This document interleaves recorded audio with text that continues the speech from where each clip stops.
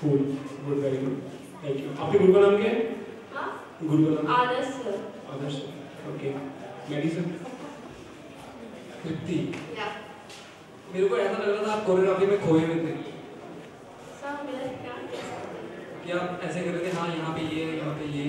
नहीं actually I think slipping लो slipping ऐसा कुछ नहीं है पर आपको थोड़ा फेस पे दिख आपके फेस पे भी दिखना चाहिए। और आपको कोरियोग्राफी किसने करवाया? है आदर्श सर और जो आपने हुआ किया, हुआ। समझे? पता है कहाँ से आया